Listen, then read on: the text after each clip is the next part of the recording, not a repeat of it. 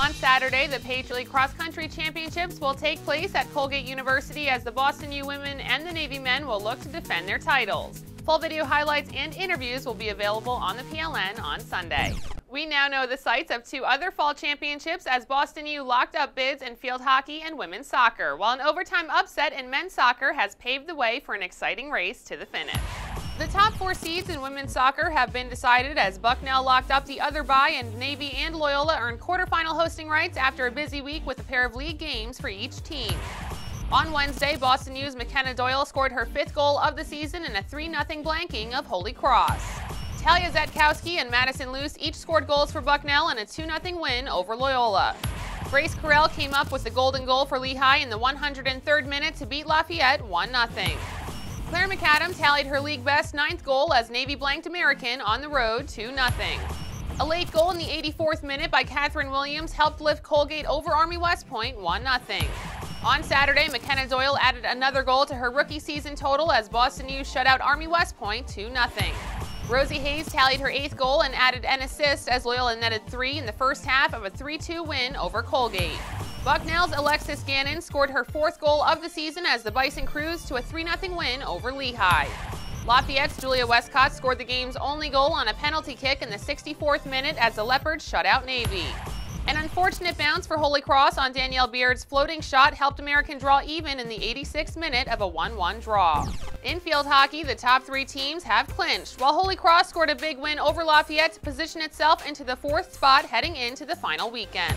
Rachel Cole scored a pair of goals on Saturday as number 17 Boston U remained undefeated in league play with a 6-0 win over Bucknell in a rematch of last year's championship game.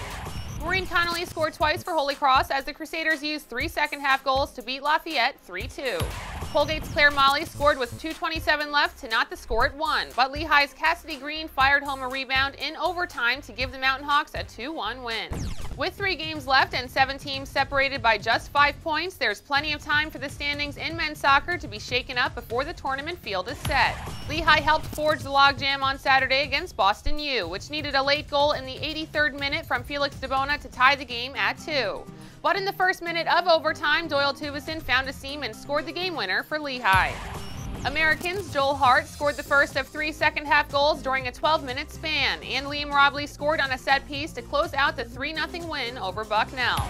Army West Point's Alex Yaroshak scored off a cross in the 41st minute at Loyola, and the Black Knights held on for the 1-0 win. Arno Rupp headed in the game-winning goal in the 71st minute to lift Holy Cross over Lafayette 1-0. American and Army West Point remain out in front in women's volleyball after a pair of wins last week. The Eagles have won 15 straight sets in league play after a pair of 3-0 sweeps last week over Bucknell and Lafayette. They'll be able to lock up a tournament bid with a win Tuesday night over Navy. Nicole Perry had 35 kills for Army West Point in a pair of 3-1 wins last week as the Black Knights beat Holy Cross and Colgate. Navy is on a roll in volleyball too, having won four straight matches, including a 3-1 win over Lehigh to vault into the hunt for a tournament bid. To watch the tournament races unfold live on the PLN, log on to PatriotLeague.tv. For the Patriot League Network, I'm Melanie Pulowski.